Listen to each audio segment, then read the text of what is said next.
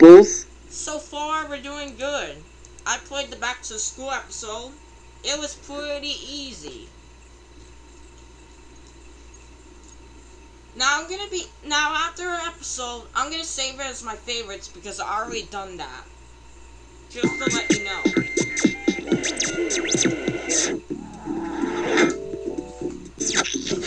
Hey there, I'm Sandy. Got some questions for you. First off, how many people are playing the game?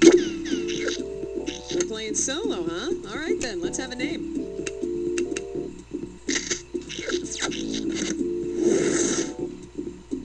All right, first things like first. Pick which episode you want to play, and hit F to have a look at your favorites list. Let's try. Let's try junk mail. 30 seconds. You'll use the B key for your buzzer. That's B as in big old beer belly. 20 seconds. All right, listen up. Take notes. As soon as you think you know the answer to a question, buzz in. Then you have to hit the number that corresponds to the answer you want. Got that? All right, now get out of here.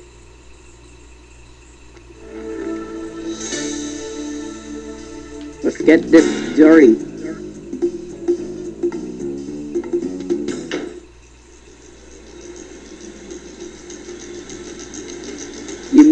Already be a winner, but you're definitely already a loser. It's time for the show where high culture and pop culture collide.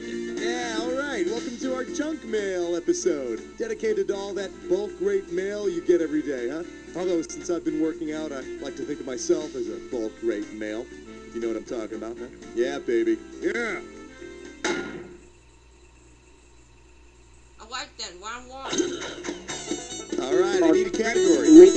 Link dead left office worker, or it's like dating.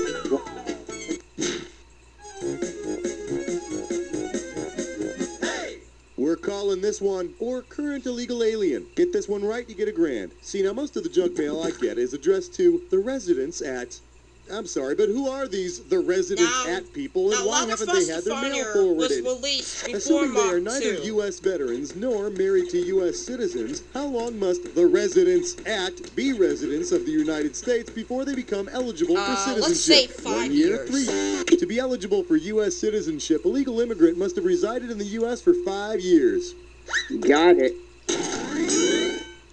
That's to make sure they've grown comfortable with American customs, like securing seven or eight credit cards with a low introductory APR. Give me is close. Do not dance. Columbia House of Bird Repute, or when mailmen cry. Question alert. Question alert. The category is When Mailmen Cry. You get it right, you get 2K. One question coming right up. Which of the following has never been sent through the U.S. mail system? A little girl, the Hope Diamond, an entire building, or a live whale? In 1916, an entire building was dismantled and mailed one ton at a time from Utah to California. Should have picked this one. As far as anyone knows, no one has ever sent a whale through the U.S. postal system. Not that they haven't tried, Oh, though. that was it's just that the stamp won't stay on over the blowhole. That was tricky. All So right, pick a category. link plus mail. Mad Dogs and mailmen, or I found for cheap stamp.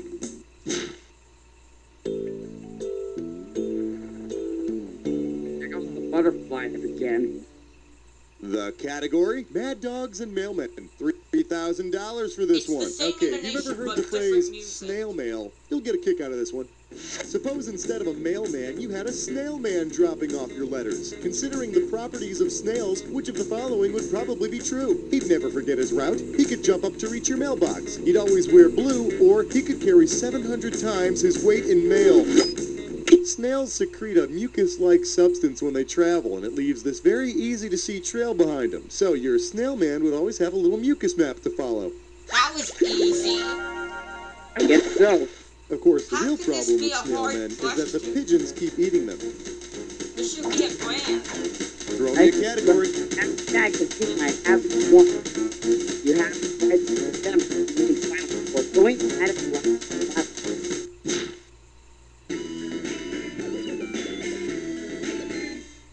Coming at you, you have the right for them to remain silent. How does $2,000 sound? And now, your question.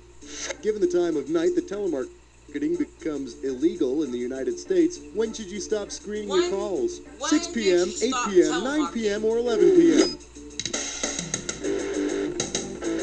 I like double or nothing.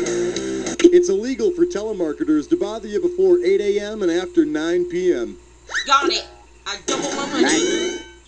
Nice. Of course, I'll still have to screen my calls since no legal calling constraints have yet been placed on my Uncle Stewie. The paperwork's taking a little longer than we expected. I'm just having lucky guesses. This Category, ends please. and away. That's ah. Clean up your Houston. All right, Flesh Butt Spits Uh-oh. Encore. It's time for a Lip for Dish Mess Fun. Take a look at this gibberish category. That dick. What do you say to 5,000 bucks to start this gibberish question off? Now, as soon as you know the answer, you buzz in and start typing, because I'm going to take away some of that cash every second and a half. Okay, tell me what well-known postal phrase this rhymes with. Is mess we sigh? Well! And don't let that screwy punctuation phase you.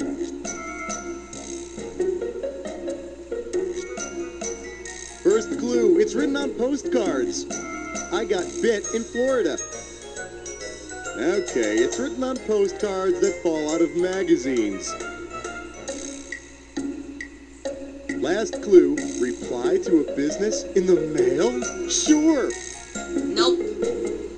Every time I'm sitting on the toilet reading my subscription to Tiger Beat, I get that little card that falls out and nearly slices my thigh open with a paper cut. You know the one, it says, His mess we sigh whale. Business reply mail. Dear Tiger Beat, yes, yes, a thousand times, yes, I will renew my subscription to you. But, my darling Tiger Beat, you must never ask me anything, and you must never go through my stacks of teen people. Thank you for paying my postage. Oh, Love, I see. Those bold letters. Make- You may also pick a category. be Christian because couples care or native mailbox doesn't match the rest of the house. One? I don't know.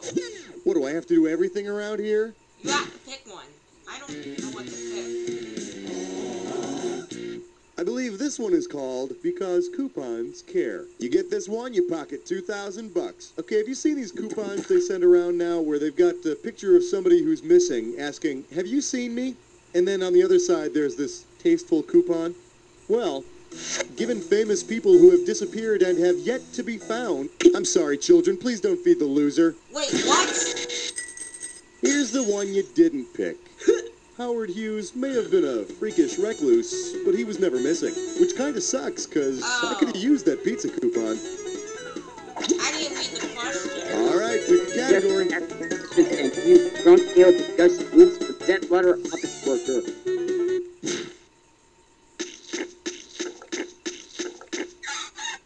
And our special guest tonight, junk mail discussion groups. I'm gonna make this one a thousand bucks. Flex those fingers, here it comes. Suppose the Book of the Month Club actually sends you a copy of the book Junk Mail. Who's that month's featured author? Martin Amis, Nick I don't know Hornby, William offers, Burroughs, or Will Self?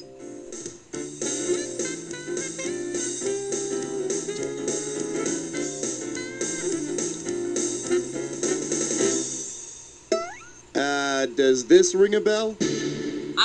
English author Will Self's I got a book to- called Junk Mail. Yeah, junk mail literature. Pretty much the same thing. And I you know what I'm saying? that's the end of round one. Books are dumb. Play more computer games. More computer games. Time for round two. All the questions are worth double. Let's get back to it.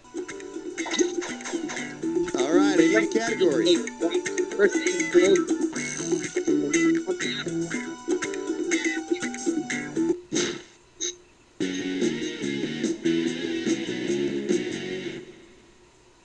Let's have a big warm welcome for It's Like Dating a Rock. I'll give you 4,000 clams for this bad boy. You know, I don't know why I keep getting mail from those dating services.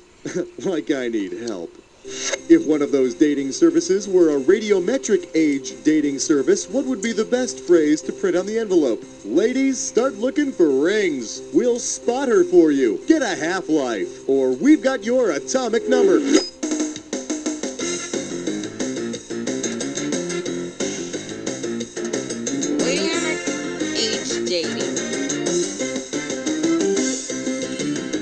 It's too tough. Here's the one the winners pick.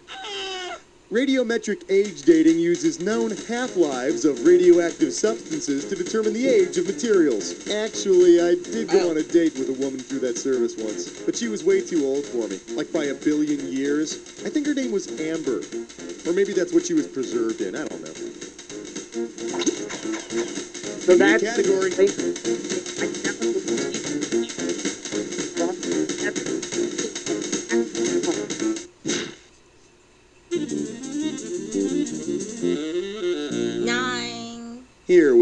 Have, I found her G-stamp. You want Uh-oh. 6,000 bucks? Give me your right answer. Okay, wake up. Got a different type of question here for you. For this next one, you're going to have to choose the answer that best completes the sequence. I'll tell you what, I'll give you a little hint. Postage. You got Postage. it? All right, lick this. Come on, we went with the 18, hints. 22, 25, blank, 32, 33. 22, Come on. What goes in the blank? 27, 29, 30, or 35? Postage. That's my clue. No, it's a little too tough. The correct answer is way back in 1995, the cost of mailing a letter in the U.S. went up from 29 to 32 cents. Although uh, I've been known to toss my mail person a couple extra pennies just to be sure that my mail makes it to the right address. Hey, when it comes to So postage. I don't mess around. Guess. Time One to called pick a category. Ambrosia. Mailing goods tramps or one man's junk is another man's. Hey, not Crap isn't a bad. bad You word. chose a when did happen.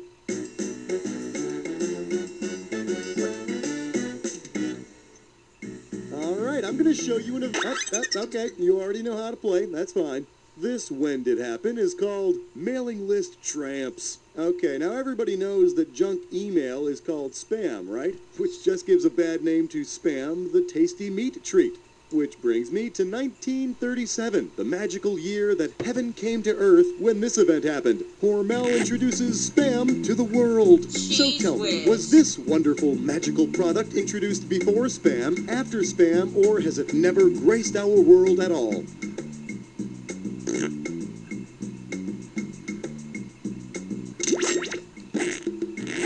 Tá Não,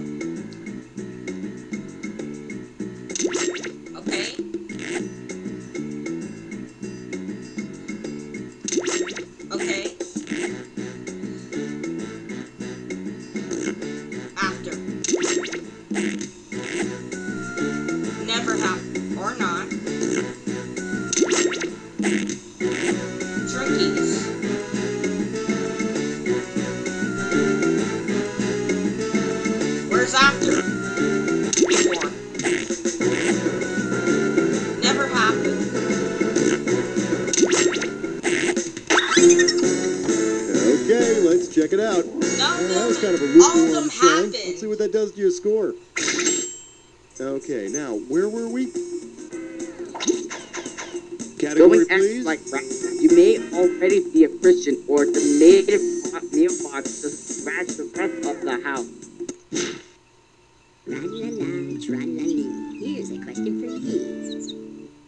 Let's take a look at going at it like rabbits. How does $4,000 grab you? You know, I don't get this. You get on one freaking mailing list and suddenly everybody knows you once ordered some crotchless panties from Fredericks of Hollywood.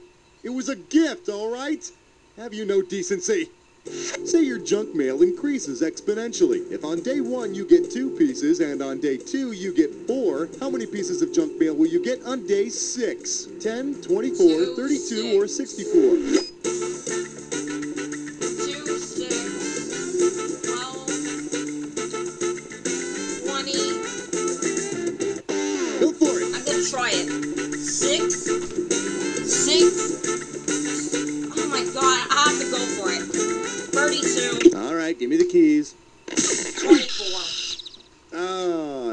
sent away for this answer.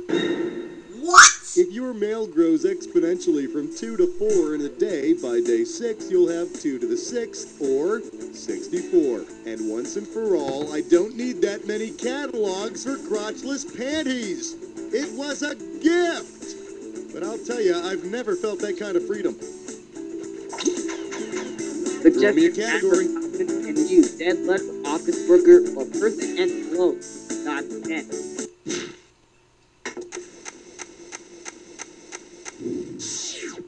Introduce Dead Letter Office Worker? You get it right, I'm putting you up $2,000. See if you can wrap your skull around this.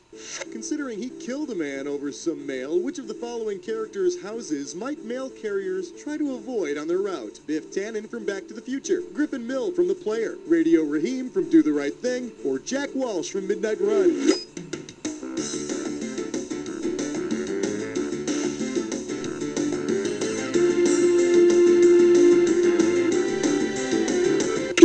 Mail carriers are great at taking their time, they really make no effort to travel back in time.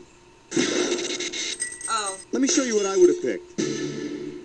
In the film The Player, cold-hearted That studio exec Griffin. Mill kills a guy he thinks is sending him hate mail. Apparently, the letter began with, G. Mill, you have not already won $10 million. All right, Columbia pick a category. Repute, so that's who we blame for lost mail. Or I subscribe to every magazine and I haven't seen one.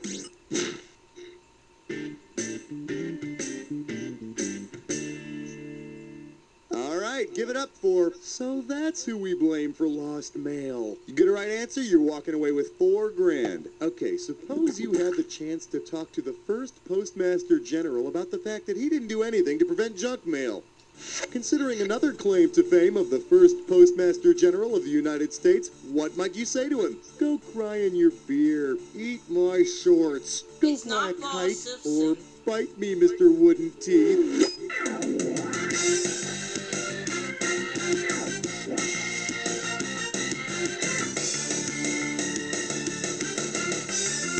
so looks like we lost Josh. Hey, if you got a minute, take a look at this. He's famous for flying a kite to study electricity, and Benjamin Franklin was Oh. also our first postmaster general. He also invented bifocals, a stove, and fathered like a gazillion kids. Just shows you what a guy can do with some extra time on his hands. Give me a category.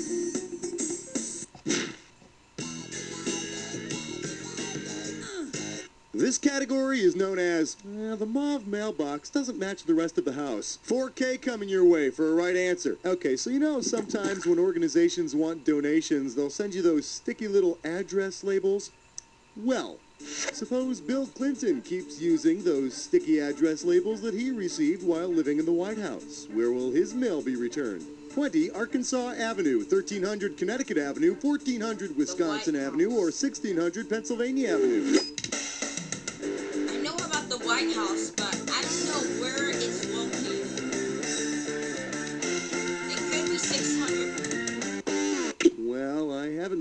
Since I was a young boy, but unless they moved it, the White House address is 1600 Yes! Pennsylvania Avenue.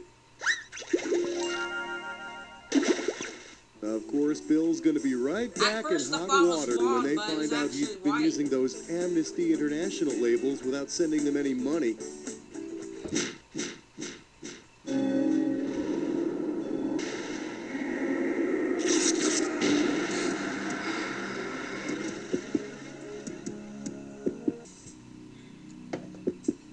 You're about to embark up. Oh, well, someone's been attacked before. Let's see how much you've learned. Here's your clue. Or current resident. Oh, that reminds me. I have to order more of those return address labels. See ya.